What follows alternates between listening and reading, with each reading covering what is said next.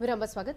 સુરતના કતારગામ વિસ્તારમાં ઓગણપચાસ લાખ રૂપિયાની લૂંટ કેસમાં ખુલાસો થયો છે. ફરિયાદીએ જ લૂંટનું કાવતરું ઘડ્યા હોવાનું સામે આવ્યું છે. હીરાની ગુણવત્તા ચેક કરવાના સોફ્ટવેરની ઓફિસમાં ચપ્પુની અણીએ લૂંટારૂ રૂપિયા ઓગણપચાસ લાખની લૂંટ કરીને ફરાર થયા હતા.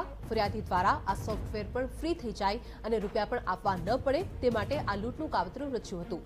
હાલ કતારગામ પોલીસે લૂંટ કરનાર અને ફરિયાદીની ધરપકડ કરી છે.